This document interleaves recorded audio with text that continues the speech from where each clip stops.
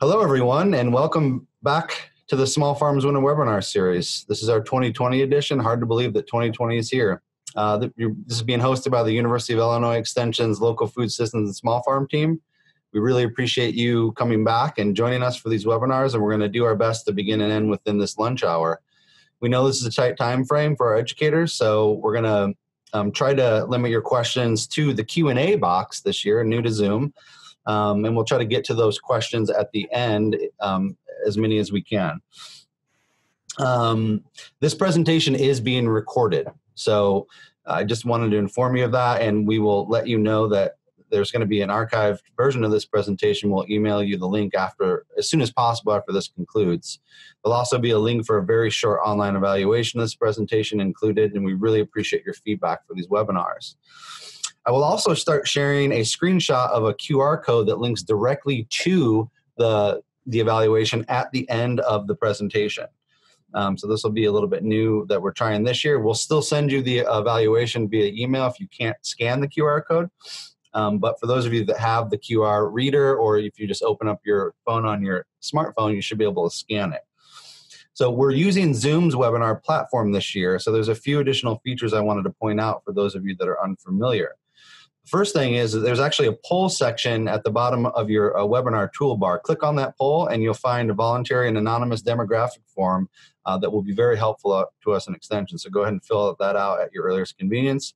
There's also both a Q&A box and a chat box. The Q&A section is where I'd like for you to put your questions that you have for the presenter and either I can answer them, someone on our panel, or we'll save them for Nathan at the end. Um, and if, if you have any technical issues, you can reserve those for the chat box. So a little bit different than usual, um, but I just wanted to make you aware of those issues. So um, this week's presentation is from Nathan Johanning. Uh, Nathan is, is one of our fellow educators on our commercial ag team in Southern Illinois. He was formerly a part of our local food systems and small farm team uh, in Franklin, Jackson, Perry, Randolph, and Williamson County. Uh, but we, we still work with him um, and, and, and we love his input here on webinars as always. Nathan's background is in plant and soil science with the emphasis on weed science. He joined Extension back in 2013, and he's involved in a lot of different things. Now, you know, he, he's involved in agronomic uh, corn and soy crop systems, but he's also very involved in specialty crop systems, particularly with cover crops, no-till, uh, fruits and vegetables, pumpkins, and today he's going to talk to us about asparagus production and marketing. So we're really excited about that, and I'll go ahead and let him take it from here. Thanks, Nathan. No problem. Uh, thank you, Zach. I'm happy to be here and happy to share some about asparagus production and marketing. So we will go ahead and uh, jump right in.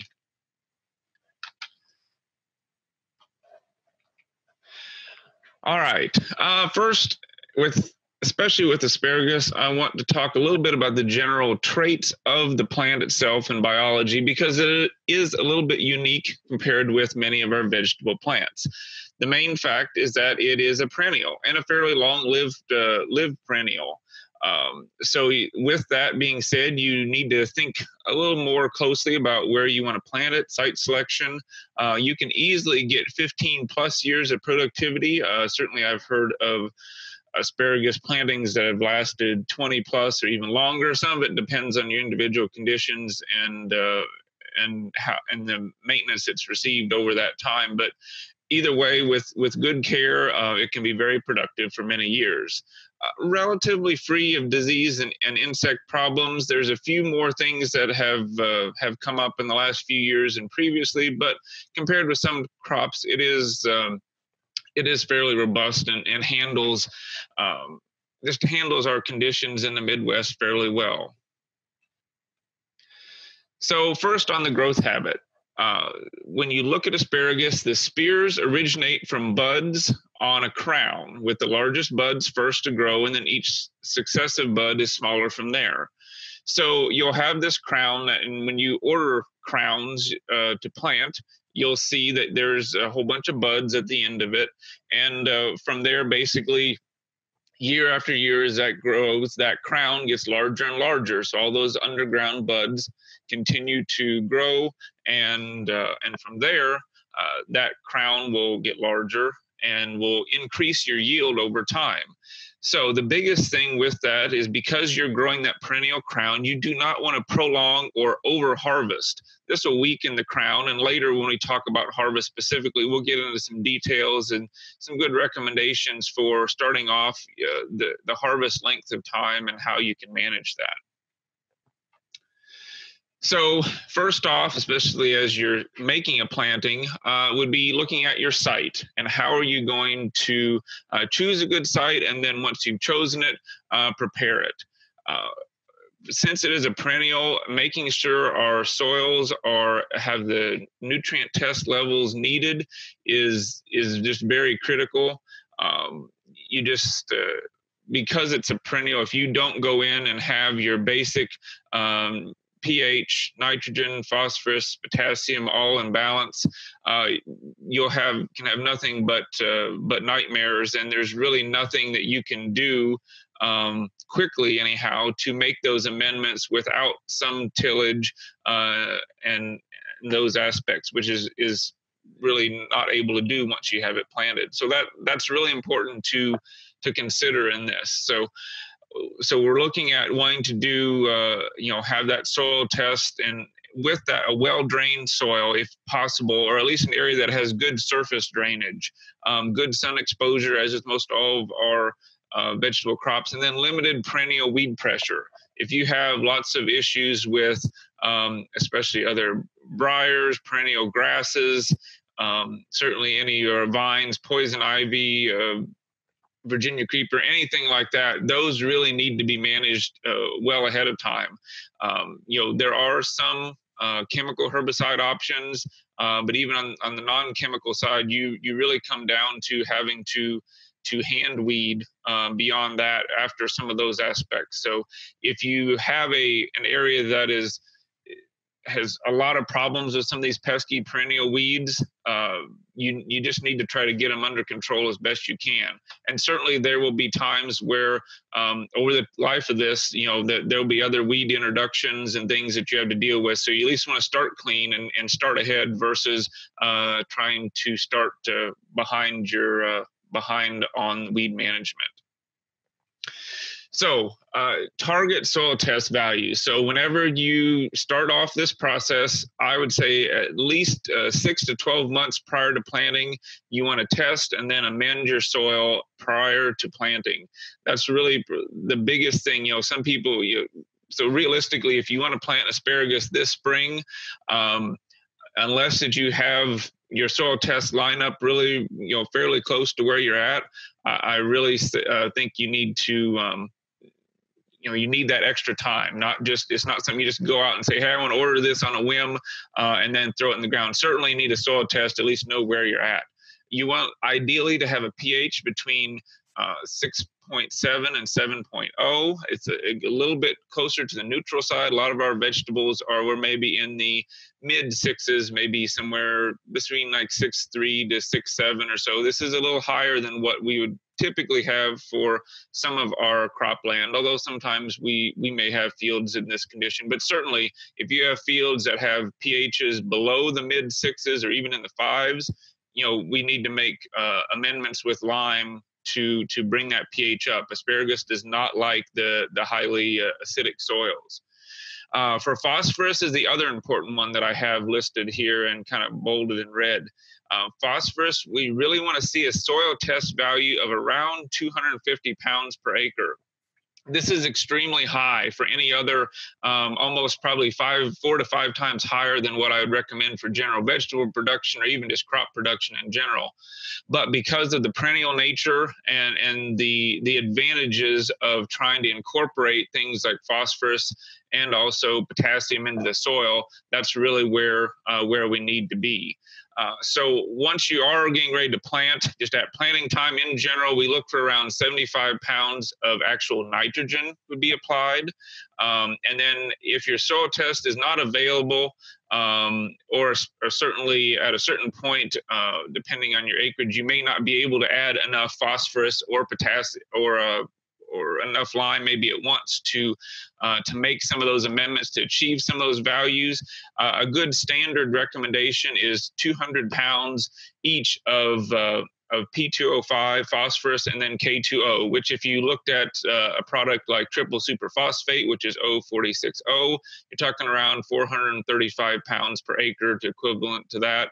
And for potash like 0060, that would be equivalent to around 333 pounds per acre. Um, that's uh, that's a fairly high rate, and from there you can uh, do surface amendments, but certainly to amend further from there. But starting off at least at that level, or if not higher, is uh, is going to be really advantageous. So, uh, I again, I can't stress that enough on on both of those uh, to at least make a good effort to make some applications. Uh, certainly, we like to do these applications. You know, we don't want to be putting on a thousand pounds of, uh, of triple superphosphate or something at one time. But um, know where you're at and, and, make, and make a good application. And if you need to, uh, making surface applications, uh, say annually in the spring, to help kind of continue to bolster those test levels is certainly a good way. But you just want to know where you're at and go from there. All right, here's another table. This actually comes from the University of Kentucky. Um, their ID 36, which is a vegetable production guide. I like this guide for all kinds of vegetable crops because it directly gives you soil test results and then it gives you a range of fertilizer to apply. So it's very soil test related, which is what we need for phosphorus and potassium, where we rely on our soil test results. So this table is, is just a really good um, a good example of, of another way to interpret those test results and to tell you how much uh, phosphate and potash you need to apply. So when you're planting crowns, um, most people are going to plant one-year-old crowns, and that's probably what I would recommend. And if I was going to put in a new asparagus planting, that's the route that I would probably go if uh, if available. Um, this usually I'd want to have a soil temperature of at least 50 degrees. Uh, so more similar to what maybe you would plant, um, you know, corn or even transplant some of your uh, summer vegetable transplants out. Um, hold those crowns at around 33 to 38 degrees until planting. Um, uh, so and make sure you you order in crowns whenever you know the the soil temperature and soil conditions are appropriate so with that, a lot of these for these situations, you're going to be working with a you know directly with a commercial nursery that is going to be uh, that is going to be growing these plants themselves, and they have the best you and your best interest in mind as well. A lot of them you can I would go ahead and say place an order now or, or, early and and they will say, well, when do you want them delivered? You can say, well, ideally, um, say if it was in Southern Illinois, we might target maybe late April uh, or early May. Um, and so you can set a date, and often they are very good to, if you can talk to them, like, you know, if, if they said, we're going to ship May 1, and you see that uh, May 1 is coming and there's just no way it's wet or something else that you can't get into the field um, call them and most of them are really good ab- about saying you know hey we'll hold on to those for another week call us because we would much rather have have us hold them in our cooler uh, where we know that we have the the temperature and humidity right to preserve them than to give them send them to you and and maybe you don't have as good of facilities uh, to keep them cold and then you have a bad experience with those crowns because maybe you weren't able to store them as well. So do work with your uh, a good nursery that raises these crops will work with you because they want you to be happy as well um, separate those crowns uh, into different size categories and, and plant a cat- uh, according, accordingly. Usually we say that because a, a larger crown that you're planting will be more vigorous in a smaller crown, and sometimes it can be easier to manage harvest and, and, even other operations if you kind of plant them in a in a gradient versus just planting them randomly. Uh, this is this is just more of a, a, kind of a cursory example of a way you can kind of uh,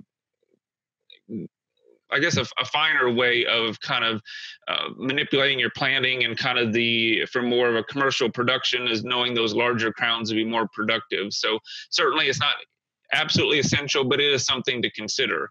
Uh, so also if you take in, in furrow, apply around 100 actual pounds of diammonium phosphate, which is 18460 or something equivalent, uh, you can actually apply that in furrow uh, in the basically the plowed furrow where you're going to plant the crowns. That is, uh, and it doesn't hurt the crowns. And, and when you figure it out, it's not a not a, a huge amount. Um, but it, what it does, it gives a good direct boost of night, a little bit of nitrogen and then phosphorus right underneath those crowns to give them some additional start beyond the the general amendments you've done to the soil. All right, so there is an option of planting seed. Uh, seed is less commonly done, uh, but if you do, start in plug trays in a greenhouse. It takes around 10 to 12 weeks for transplants to get to their full size. You can see in this top picture, uh, you have uh, the asparagus seeds. Below that, we have um, so young seedlings that are ready to be transplanted into cell packs. And then uh, below, you can see some transplants that are ready to go out into the field. So um, whenever you plant them, you still need to you need to plant them fairly deep, similar to a crown, which is what we're going to talk about next. And you need to plant them around five inches deep.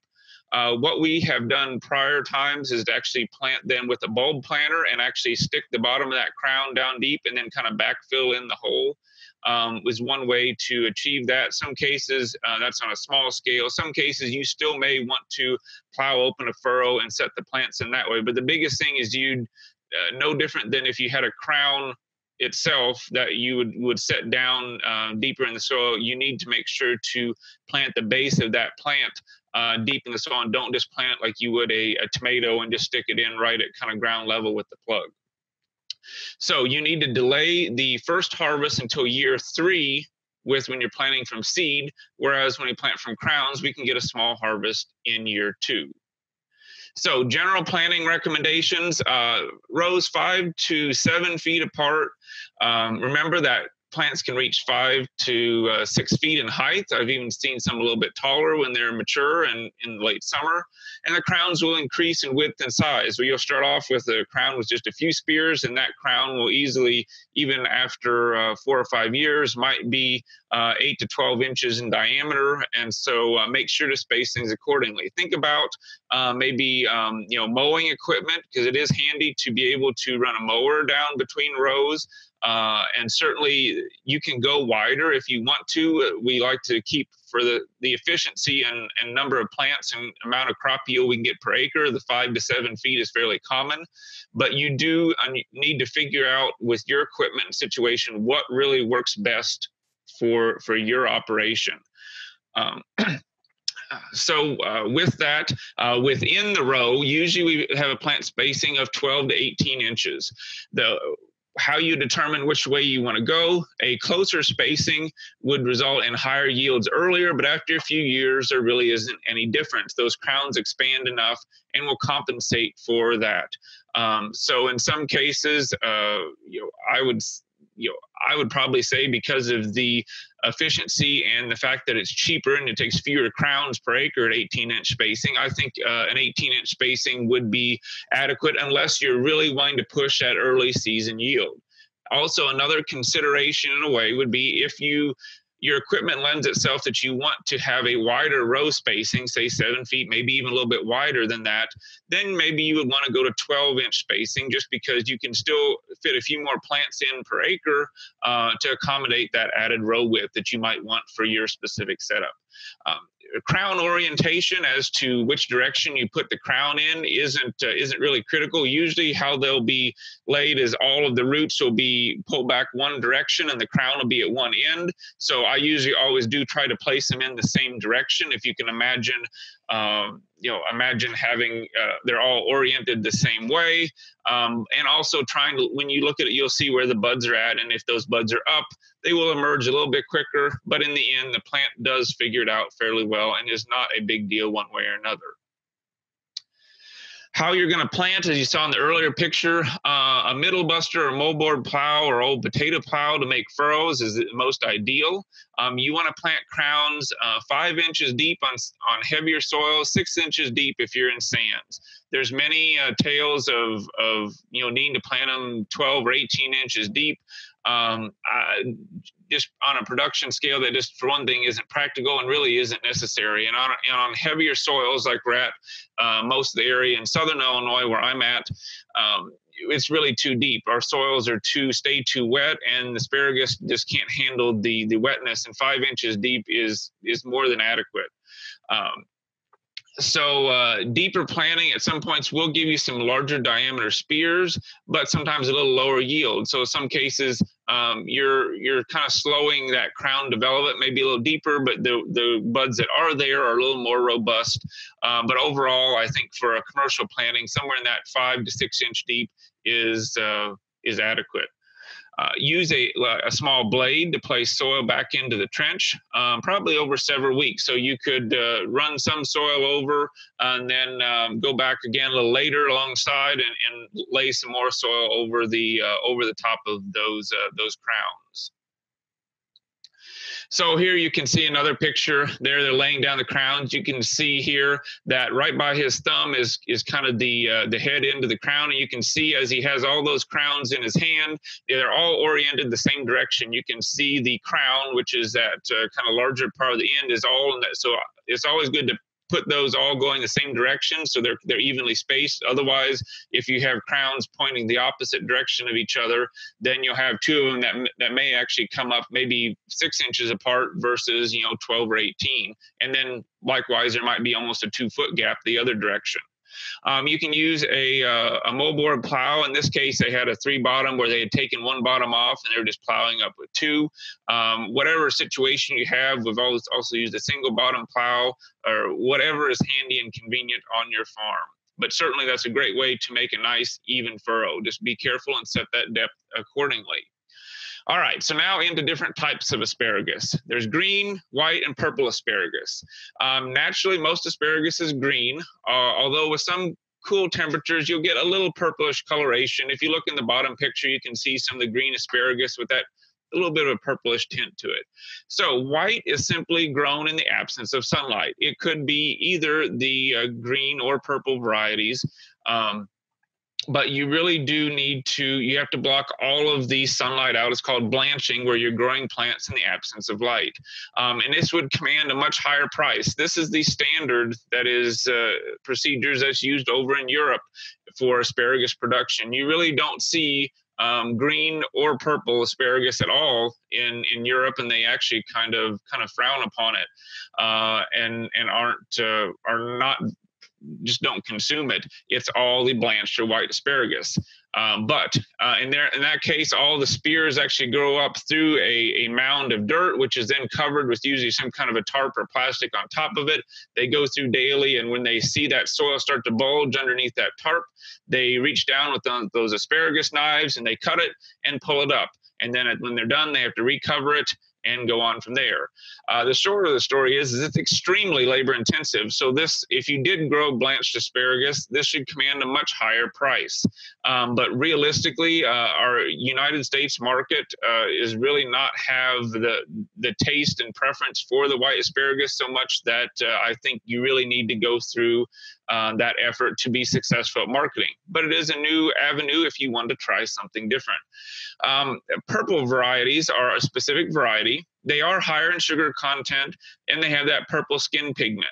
It will cook out a little bit, so they don't keep that same bright purple color. They tend to fade a little bit more to kind of a grayish color. However, uh, I've I know that the um, I know that the the purple varieties by many have actually determined uh, to have a much uh, much higher saleability. Some of the people that have had some purple wish they had planted more purple asparagus.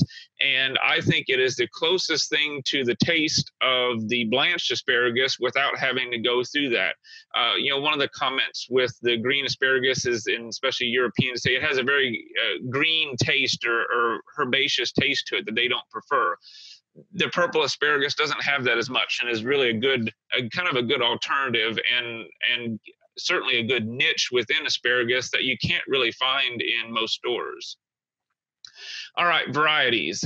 Uh, you want your hybrids are going to be higher yielding. There are old varieties such as Mary Washington, which are open pollinated and do produce will produce seed. The problem with that is then they will come up as a weed in various areas, and so a lot of our our asparagus varieties are male hybrids. Um, they have a lot higher yield and production and no seed production on top of that. So asparagus hybrids. Um, you know there's various ones jersey uh, hybrids um, such as jersey supreme jersey knight jersey giant and many others. Um, millennium uh, and also pacific purple purple passion are some of the purples there's also some california hybrids um, these are dioecious and do have male and female plants they are adapted more for really warm climates, um, things like Atlas and Grande or some of those. They do have a little taller, uh, slender spear growth um, and grow better again during those higher temperatures. They're not. There's some that have tried them in Illinois, and I think, and in the Midwest, I think some of them do well. There haven't been any um, any any strong preferences one way or another. The thought, especially if you're in further south in the Midwest, that they would handle some of the heat a little better and have better spear quality. Uh, however, so that's something to uh, to consider.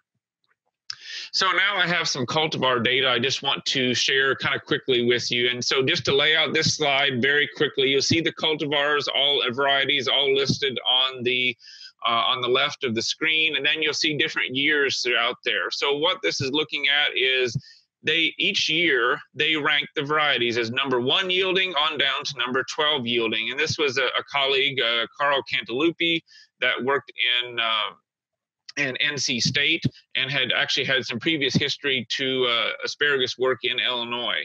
Uh, so you can see as we go through the years, one thing to note is that it bounces all over the place. Um, so some things to to look at. Some of the ones highlighted in, uh, generally speaking, highlighted in green are the ones that that just I have felt from looking at that had uh, a better probability that they were going to be in say the top half of the rankings um, Jersey Giant, Jersey Supreme. They did have the Atlas and Grande, two of the California types, and they were, uh, you know, yielded and did perform fairly well. Um, and then also they had Purple Passion Millennium, which uh, which also did fairly well overall. But as you can see, it does vary, and so it's sometimes hard to make these determinations um, off of some of these trials. But these are over time. Looking at these can be some really good information for you. So that was some information from out on the East Coast uh, that would be applicable. But we also have a asparagus variety trial uh, at the extension office in Murphysboro. Some of you may have been to programs out here. These were crowns planted in 2014. Uh, and uh, there are 20 crowns in each plot, and we have four replications of each of 12 different varieties. Uh, we did have the addition of, of two varieties as seedlings in 2015. So you'll note Pacific Challenger 2 and Pacific Summit. Uh, you'll see they often trail out at the end, uh, but we still did include some of the information. But do remember that these data would be around three years behind uh, because of getting planted later and getting planted, planted as seed versus crowns. Um, so we first harvested in 2015 for two weeks, and that'll be the first data you see. And throughout, we graded the we graded them by diameters of uh, small being a quarter inch plus, and then large being a half inch plus, and then an extra large being one inch plus in size so here you can see we're start off with 2015. Uh, I'll just lay out these slides. We're just going to fairly quickly go through the the data uh, for these uh, for these first years, just to kind of show some of the differences. All of these slides, you will see that the varieties are listed in order of the amount of marketable weight of spears that they had provided. So you can see that uh, in this case, uh, Mondio was our number one yielder, and then on down to Jersey Knight was the lowest yielder. So that will be the same throughout. Also, the uh, the black line you see through the middle is a cutoff line. Anything above that line performed at or above average when we average all of the yields for that season. Anything below the line would be below average. So although that's not uh, necessarily statistically important. It gives you an idea, looking across all of them, uh, where they would fall or where would be kind of a, a, fallout line, which what would be basically an at or above average uh, variety for that season. So the varieties we had, uh, Mondio, uh, NJ1122, which is now called Greenox, Millennium, Pacific Purple, uh, Jersey Supreme, Mary Washington, which is our old open pollinated standard, Jersey Giant. We had NJ1025, which is now known as Porthos, NJ1113, which is now known as Sequoia, uh, Jersey Knight, and then I showed you the Pacific Challenger and Pacific Summit, which you will see uh, data for those coming in, in the future years. Note all of the weights are listed in pounds, and these are calculated based on the pounds of yield per 100 foot of row of asparagus at those uh, plant and plant spacings we had.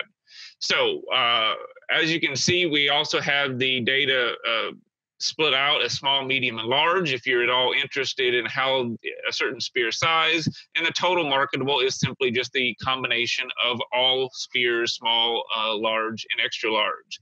Anything cull would be misshapen or otherwise deformed, or if it was smaller than a quarter inch in diameter, in this case, we considered that uh, considered that cull in your operation, you may be able to make use of those, but often those small um, eighth inch spears weren't uh, weren't terribly marketable. So here, you, starting off, Mondeo uh, and Millennium, and also Greenox were some of the some of the high performers. We move on to 2016, which is the third year of the of the trial. So here you can see Mondeo again up at the top. Uh, and we actually have a lot of uh, a lot of high yielding, higher yielding varieties. Sequoia, Greenox, and also Jersey Giant uh, had kind of risen to the top.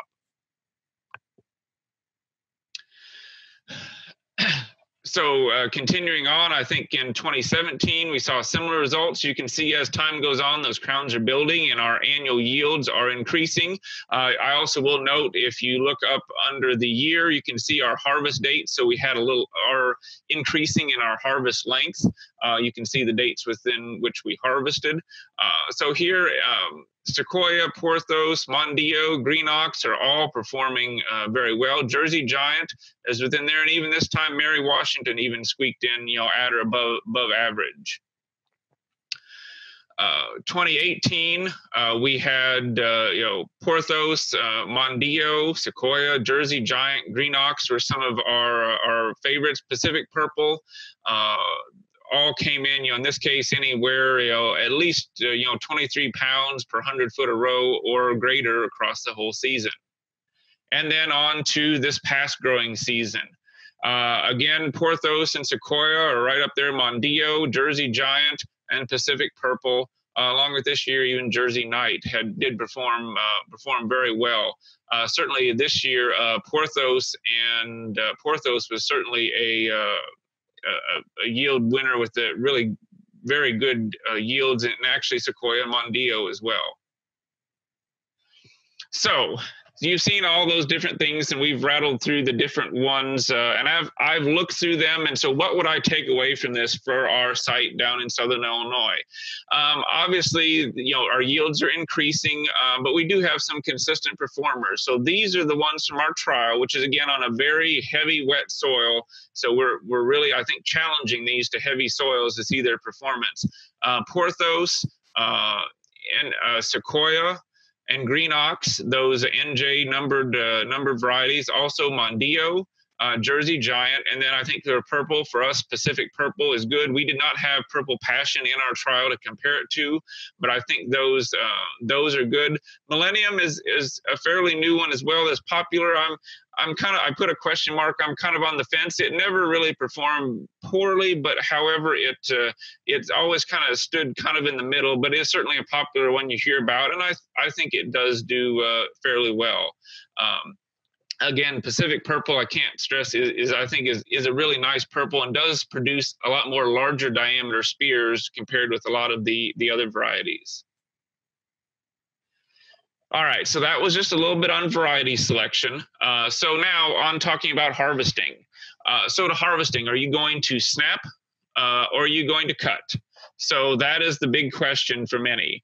Uh, I would say my vote, if it was me, is I would probably snap them off. Uh, you can literally just take your hand and and kind of run it down the spear and just kind of give it a bend, and it will naturally want to snap uh, above the most woody area of the of the stem. What that does, it gives your total yield uh, a little bit lower although it's 100% editable and you can market that that this is all edible you know so many people are used to getting uh, asparagus from the store and they naturally cut off the bottom few inches of it um, so uh, because often it's cut and when you cut the tendency is to cut it you know right at or even maybe below the soil surface it's often very woody uh, very stringy and uh, and so having that 100% edible um, gives you a premium, not to mention being a, a, locally raised and fresh crop.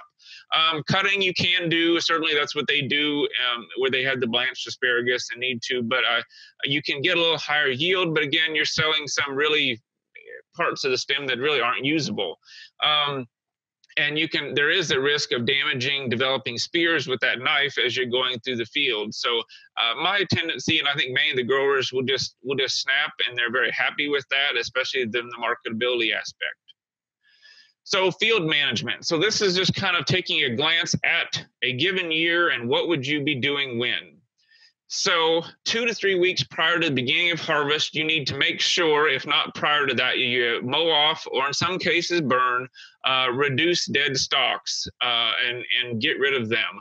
Uh, so you want you need to get rid of those. As far as the mowing, I have actually gone to when available, even going into maybe uh, November or December if I can get out in the field, uh, or any time throughout the winter, especially when the ground is frozen, depending on your soil conditions. Uh, for us and for Murphysboro, that was one of our stipulations because it would generally just be too wet to get across it with a mower. Um, there is some slight advantage to burning from the fact that they do say it can reduce some inoculum for diseases. However, I've heard some recent research that if any reduction in disease you would get was only temporary at best and really didn't turn, uh, didn't have any long-term impacts uh, on disease management. Uh, so typically the first emergence for varieties does vary. You can, if you look back through that data, uh, you can see our first harvest varied a lot. Sometimes it was the first of April. Sometimes it may have been the mid to end of April. Um, but in Southern Illinois, I would say from mid March to early April is whenever you start to see the first emergence. Now, first emergence and their first harvest are often different depending on the weather, just because that you can see spears you know sticking out of the ground a half an inch doesn't mean that you'll be harvesting, especially when temperatures are cool. Um, when to mow again. Um, some do say that the, especially in colder areas, it's nice to have the the ferns help to um, kind of keep the soil a little bit cooler because they're shading the soil in the spring, which can reduce some of the early spring frost injury. Uh, so that that can be a benefit. We've had issues with mice and voles out in the field, so uh, especially over winter. So we like to reduce that habitat and trying to get a mowed before spring. Uh, and also for us, it's also manage uh, a point of trying to get out whenever we can get across the field uh, at an adequate time. Again, usually for us when the ground is frozen. Uh, so you would apply, generally apply a pre-emergence herbicide or burn down herbicide. And for all the recommendations for that, I would go to the this website. And if you do a search for the Midwest Vegetable Production Guide for commercial growers, you can get uh, that would take you to this link and you can download a PDF or you can actually purchase a paper copy of this. Great resource for all kinds of pest management and vegetable production. Um, if you are using glyphosate or Roundup, be very careful. No spears have emerged. You have to uh, be very careful, and that's why I would suggest going out and scouting early. Um, I will scout even as early as. Um, you know, even as early as the first of March, and I will watch and see, you know, are we getting emergence? Where are we? Uh, where are we seeing some? Um, you know, seeing any issues because I specifically want to, you know, avoid that. So beyond that, there are some options where we would also take and uh, and we would, you know, you can use mulches on um, on your asparagus for field management, for weed control. Um, uh, you know, there's other options, flaming. Um, you know, even some of the, if you're looking on organic production, some of the OMRI approved herbicides like horticultural vinegar on very small weeds could uh, could be an option. But we really do want to start uh, start the season off fairly clean, and and that is important. I really do uh, do discourage um, any or much of any tillage. Some will do very very shallow tillage, um, but you have to be you know only an inch or maybe two. Um, but you really have to remember you're also opening up your soil to be more prone to erosion and and which is already fairly bare to start with. But you really um, you really need to think about how you would um, again how, how to manage that. And if you do till there is that risk that if you get a little bit deep you can damage the crowns and that can have long lasting impacts on the longevity of your planting.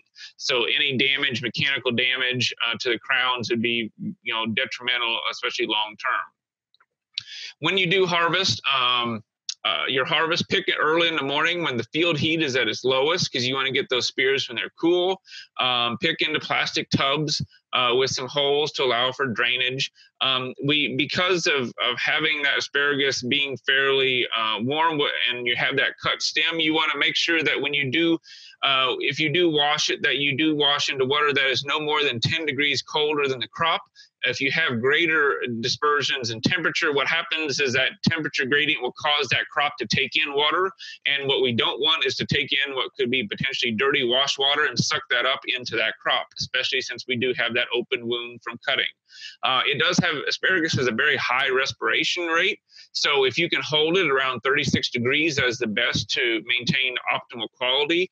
And you can store for, in many cases, up to two weeks at 36 degrees. You want to store it upright um, in in a dark uh, refrigerator or, refrigerator area. Some cases uh, they say in shallow water, or I like to, if nothing else, just make sure you're controlling the humidity, uh, making sure that you have humidity control and are keeping that environment at a high relative humidity.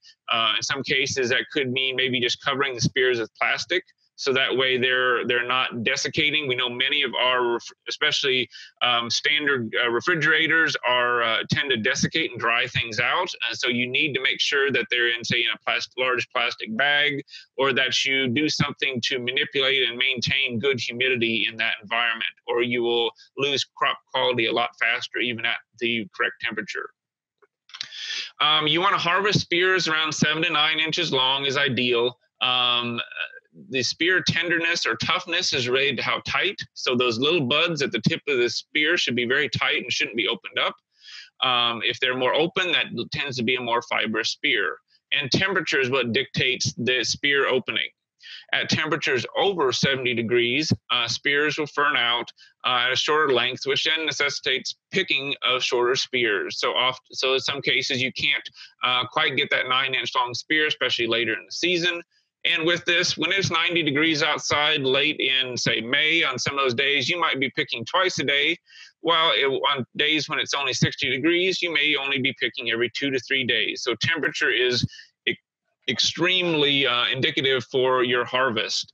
Uh, and that's uh, we saw this this past season. It stayed very very cool until all of a sudden uh, later in May the the temperature turned up and it, it got up into the 80s and 90s and we had very very limited harvest.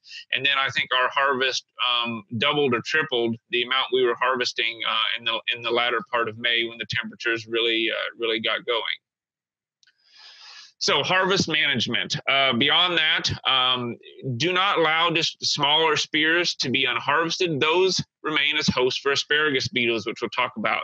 Uh, and remember, you know, the the picking is is relentless. Uh, in this picture below, you can see this is actually a, a, homemade asparagus harvest apparatus where you have seats that on a, would be an old uh, wagon frame that has a, a, really slow speed drive, so that way you can um, you can creep through the field and not be just walking and bending over constantly. Uh, so that that harvest aid can be uh, very beneficial. And there's various things out there. Some really nice. Uh, nice harvest aids out that go for strawberries, asparagus, and things like that. That if you're doing any size area would would probably be a very worthwhile investment. Uh, but harvest is relentless and, and for many weeks and and uh, and on a daily basis. So your length of picking for most of your male hybrids, that first year of planting, year two, um, you can with crowns, you can harvest for about two weeks. Um, so you can get a short harvest. Some cases you will see they maybe don't recommend that, but they research has shown that you can do a small harvest that those that year after planting your crowns and and not have any negative impact. But again, you need to limit yourself, and it's hard because you'll see those. Uh, there'll still be more spears after two weeks, and you'll just be getting a hang of it. But do limit yourself so you don't uh, have negative impacts for the life of your planting. From there, year three, harvest about four weeks uh, year four, six weeks, and then from year five on, you'll harvest of around eight weeks is is adequate. So these are estimations and kind of a good gauge. The the actual harvest will depend on the health of the planting and then weather conditions. The best rule of thumb is to discontinue picking once you know three quarters of the spears are less than 3 eighths inch in diameter. So say about pencil sized in diameter. If you start getting a whole bunch of small, small spears, if you remember the the bud with the largest spear comes out first and it gets smaller. At that point, you know that that that plant is really getting to into the smaller buds and and you really that plant is starting to struggle a little bit and you need to stop harvesting so then you can let the ferns grow and that will replenish and grow that crown for future years. So over harvesting uh, can be a, a, temptation, but if you really are in this for the long haul, um, you really do need adequate fern growth, and that means not only not to harvest, but you don't want to go through and do uh, and and blanket mow the whole patch in the summer while those spears are still green um, all of those spears are building up carbohydrates for that crown. So anything you do, whether you're actually harvesting it or if you just mow it off, it's almost the same same difference. So you want to make sure that you are you know doing everything to maintain those spears and they're feeding that crown uh, until you get um, get to the fall whenever they turn brown and desiccate and, and die off. So generally speaking, um, what would you look for for yields? Uh, I showed you some specific yield data we had. So on a per acre basis, roughly say uh, 500 pounds per acre that second year, maybe uh, 1,000 to 1,500 the third year, on so on, 2,000 pounds the fourth, 3,000, 4,000 or so for future years. 10 to 15 years of good production uh, is usually ideal, and often you'll see those yields start to decline. But again, this a lot has to do with your site and how well you've uh, you've maintained those uh, those hybrids. Maintaining soil fertility um, for nitrogen, I think you know really uh, you know around 75 to 100 pounds of actual nitrogen per year. Uh, and I would ideally split this before harvest and at the end of harvest about half and half. That way, you're giving the plant a good boost uh, early in the season and to get it off and going. And then once you, uh, at the end of the season, whenever we'll talk, whenever you mow down the spears and let them uh, do like a, a, final weed management, uh, then you can give it another boost to get those ferns up looking kind of like you see in this picture below.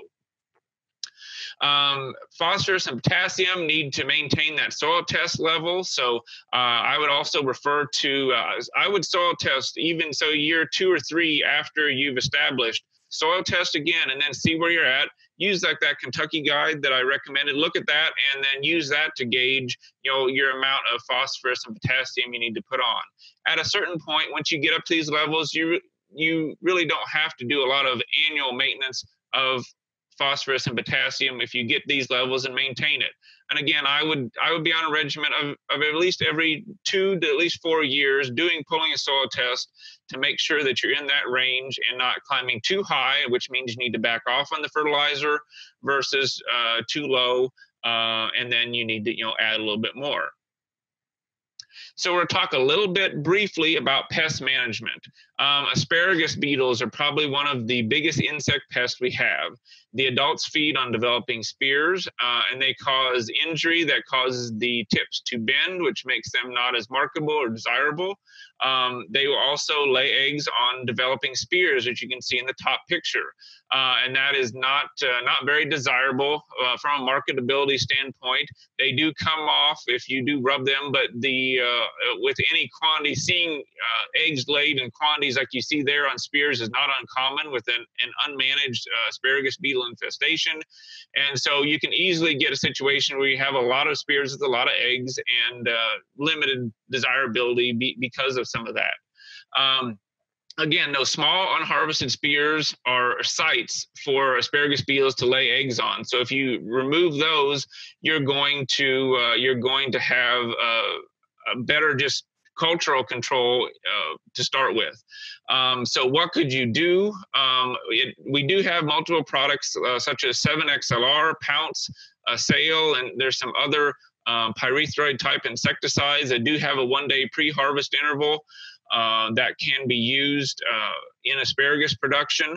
Um, usually, uh, we would say uh, whenever you, you need to watch the spears, and a little bit of asparagus beetle feeding is okay, but whenever you start to see multiple, uh, uh, when you see at least 5 to 10% of the plants that are infested or have eggs on them, um, so even just uh, you know even one out of ten or twenty plants, that's when you or two percent of the spears you pick up have any eggs on them would be kind of a threshold.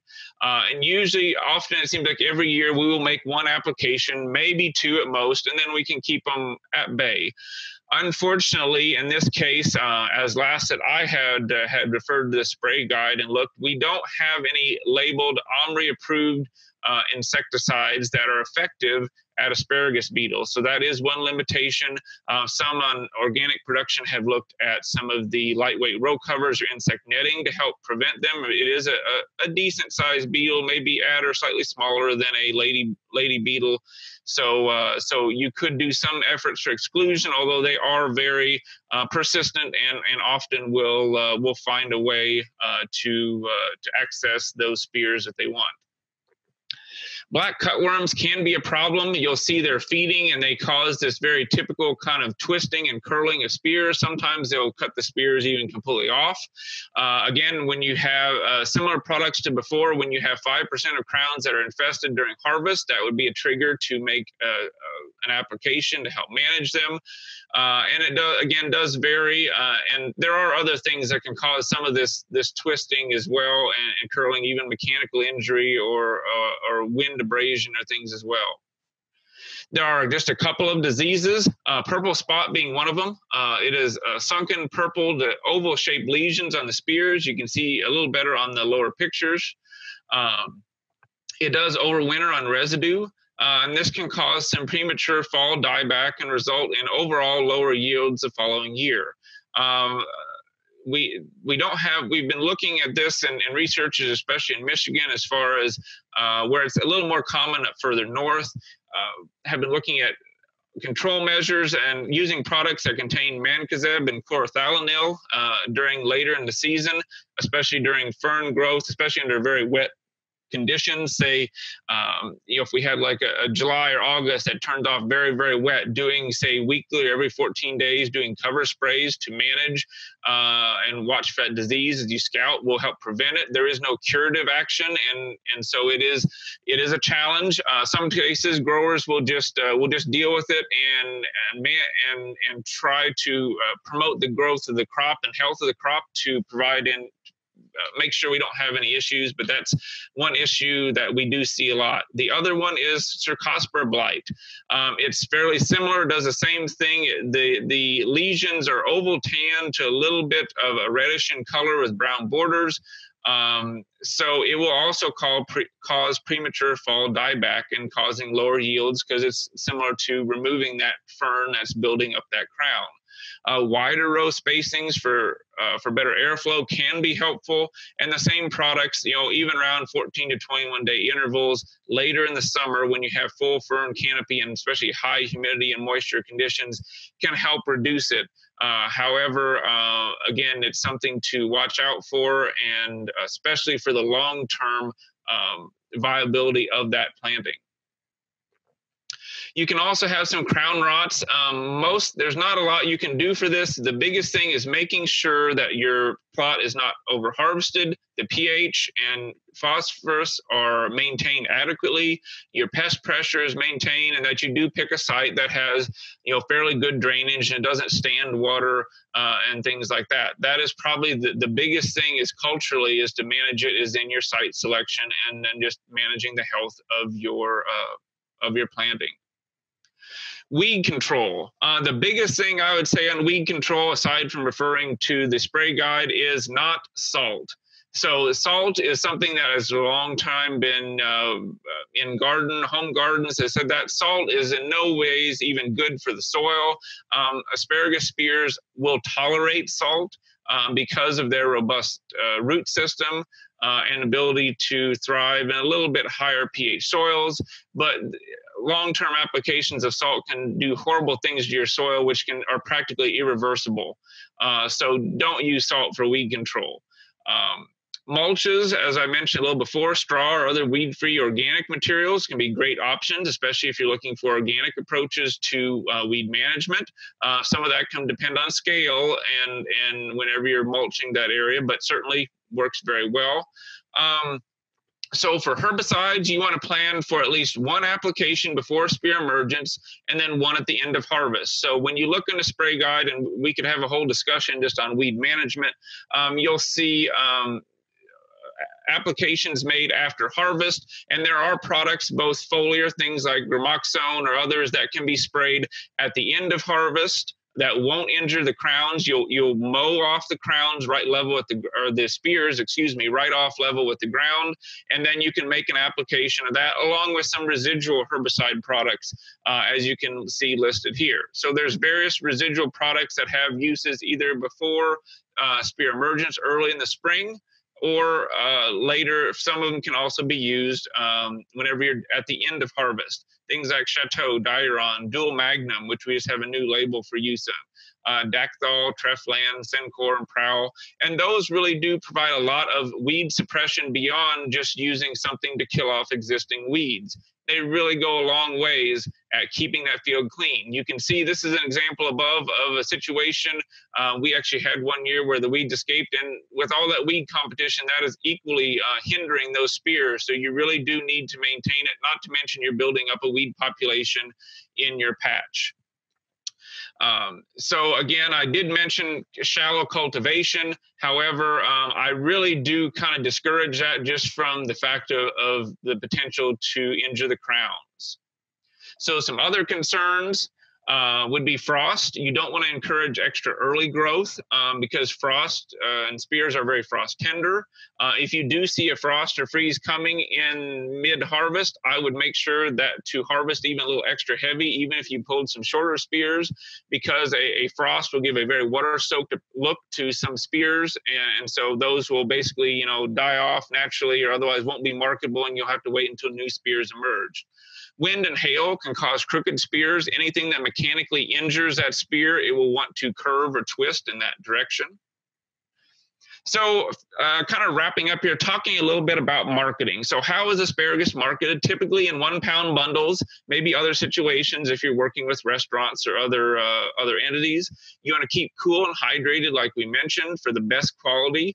Um, it is really a great companion crop to things like strawberries, rhubarb, or some other early season vegetables. If you have a high tunnel and have greens early in the season, great compliment because most of your harvest is going to be mid-April through uh, on into May.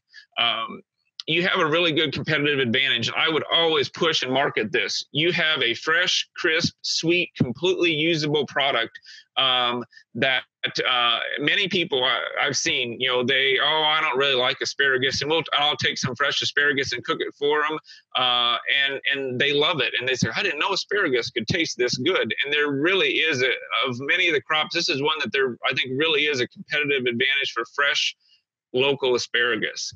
Um, also include some recipes. Look up and find uh, find some recipes. Include that for people. Give them some ideas. Um, even starting off, just quick ways of, of, how to steam it, how to how to grill it, uh, and things. Because sometimes people that maybe aren't as akin to cooking don't even they don't even know how to uh, how to just do a basic preparation. So give them a little a little hint on how to use it. So, from some farmers market price range uh, from Illinois in 2016, we had this asparagus is running somewhere at a market between 3.35 and around five dollars a pound. Um, and you can find more links to that through if you do Illinois Farmers Market Price Report um, expect wholesale prices to be around 50 or 60% of retail.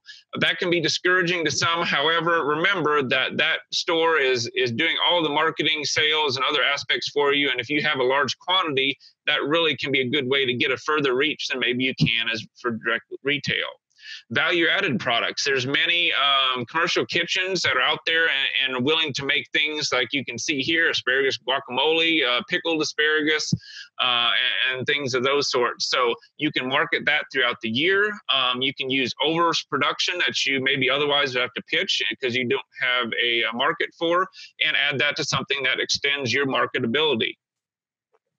So I want to kind of wrap up by looking at some resources here, and, and these will be uh, shared, of course. Uh, I mentioned the Midwest Vegetable Production Guide and Kentucky Guide, and Kentucky also has a commercial asparagus production fact sheet, which is which is a really good res- resource. And if you do a search for either any of these, you can easily come up with these URLs, and they'll also be available, of course, through the recorded slide set. I also do want to make one last plug for a fruit and vegetable newsletter that we have uh, in Illinois. Uh, myself and Bronwyn Aly are the editors, and and throughout the season we are constantly providing updates. A lot of updates I will provide even on asparagus and uh, among other crops. So certainly uh, email myself or Bronwyn if you're interested in receiving email notifications of the newsletter. And with that, I do uh, thank you all for uh, attending today. And I know we are right, I think, right at one o'clock. But certainly, if uh, if we have some time, I'm happy to answer a few questions for those that are still able to uh, to stay on.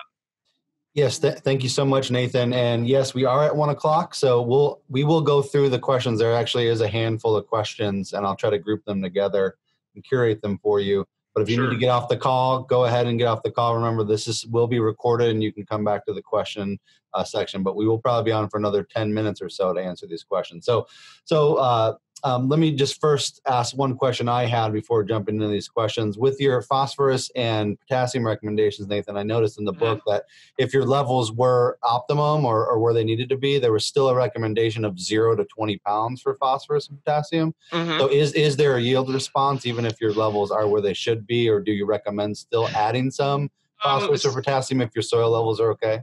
I, would say you, um, you know, and it, it, showed in, you know, in that zero to 20 pounds, which of course is, is a fairly modest, uh, modest uh, uh, rate. But um, I would say that it isn't bad idea just to to add some. Um, but the biggest thing is make sure when you're soil testing, your your levels aren't trending up above optimum. So if you start getting, you know, phosphorus levels that are up 300, 350 or things like that, or likewise, you know, 400 pounds on potassium, you just, you know, take a break for a few years. Um, and, and the soil has a great ability to hold those nutrients and, uh, um, and, uh, and so you don't need to worry about um, you know making applications certainly you don't have to every year make phosphorus and potassium applications so. right okay and then just really briefly before i get into the audience questions with your with your uh, trial data uh-huh. did that black solid line was there st- statistical difference between those yields i didn't see the so, so no I, I mentioned i do not that was just that was um, simply observational looking at the the average where the average fell and what was above or below i did not I have not had a chance to dive into the statistics on this, which um, in some cases, 25 harvest and six years worth of data. I will just be honest, I have not had the time, which would probably be a couple days worth of statistics um, work okay. for me. So that so no, I do not have the um, the the actual um, mean separations for for all of that data at this point in time. But that is that is on the to do list. So. Okay, great. So I'm going to try to to lump some of these together, sure. and maybe you can kind of answer them. So there's definitely a few categories here with um, some of the pest pressure questions, and then a few with uh, weed control. So let me try to, uh, and you may have addressed some of these, and I tried to note that in the comments, but I'll just kind of go through these and see if you can come up with some answers. So, so someone there were some questions about organic equivalent practice for applying burn down herbicide, and you kind of gave some of those along those same lines, how do you pre-harvest mow slash burn without injury to an unharvested crop? Um, and when would you put a mulch down if you were going to use a mulch? And then something about uh, there was a question about scuffle hoeing and smaller production systems safer uh, for shallow cultivation.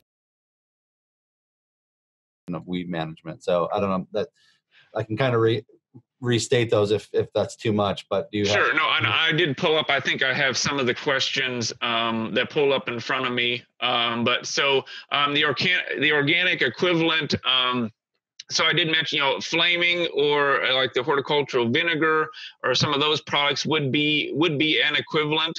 Um, we don't have any. Um, that, that's uh, at least from my experiences, those are probably the best products. Maybe, uh, and of course, those both have to be used with very small weeds.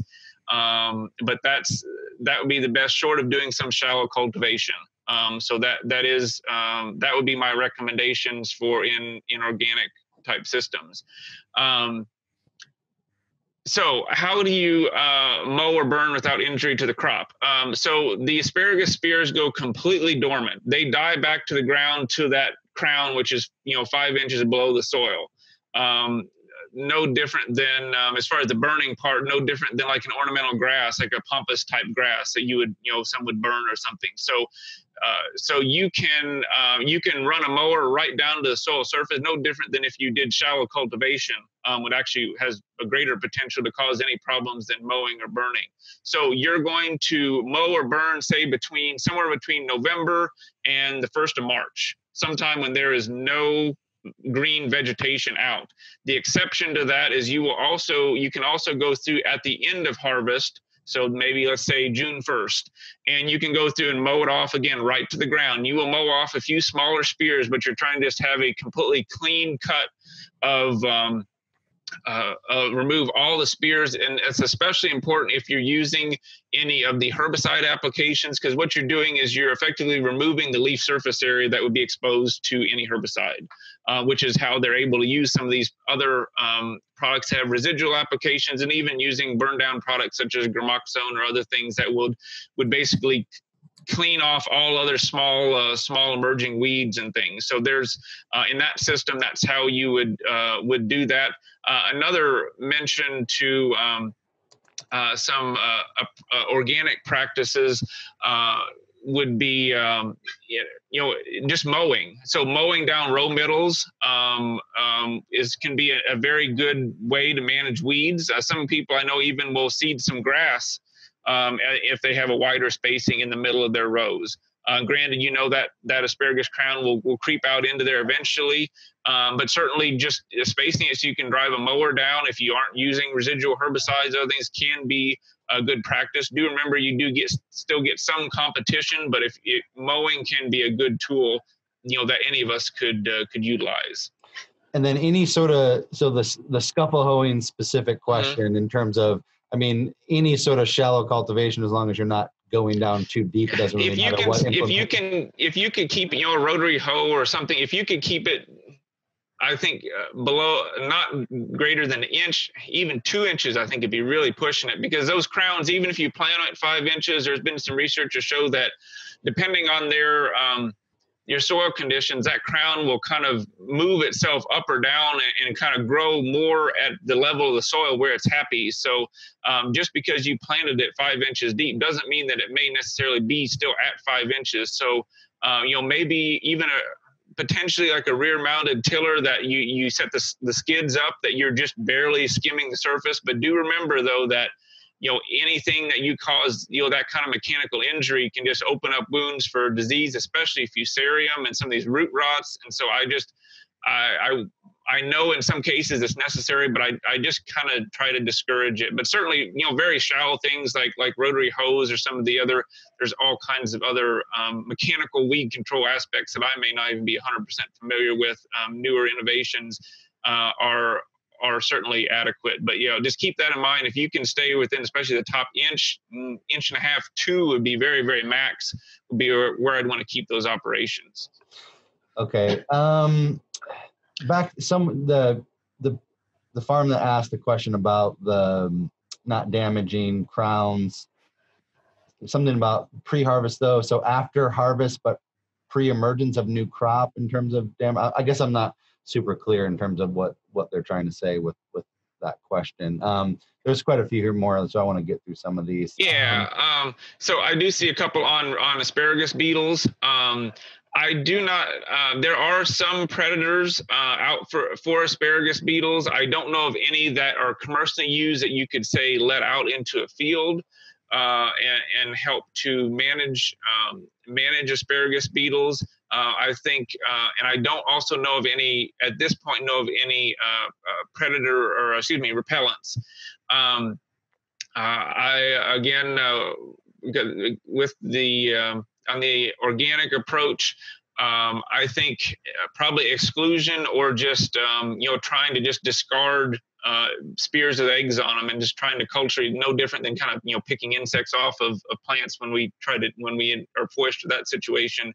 You know if there is a spear that is just completely you know just covered in eggs, you know harvest it, put another pile. Um, I don't know if you want to say you want to burn it. Don't just lay them in the edge of the field um, remove them from the field area so they don't hatch.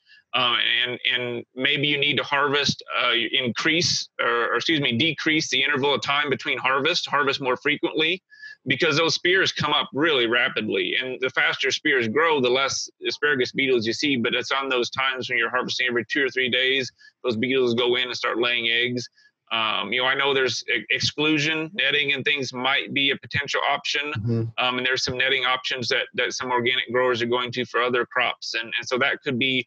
Uh, they're not in place all the time, so you could scout them, and if you start to see asparagus beetles, then you could try to do exclusion and not have to be it an everyday uh, project. But certainly, um, that is a challenge. Like I say, I think of, of the OMRI approved insecticide products. Uh, last I checked, there aren't any any labeled for asparagus beetles. So that's yeah, I mean, I would think Pyganic would probably be the closest, but I don't know if it's labeled for it or how even how effective it would. Yeah, the the last at least last spray guide did not. You know, we didn't have any. Now that doesn't mean that there aren't some new developments, and I'm sure there might be people looking into to products. Uh, I don't I think some of it was even just finding effective products that could be used, especially in such a short turnaround um, okay. in a crop you're harvesting. But all right. Um, so did you address mulching? So I, was, yes, I, I did a little bit. Um, as far as when you would put mulch down, um, I would say uh, probably uh, it could be before emergence, uh, or you could put it down right as emergence starts to begin.